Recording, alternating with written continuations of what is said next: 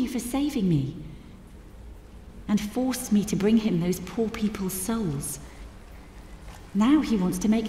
Find the magical artifact in the treasury and use it together with the amulet gems to destroy him.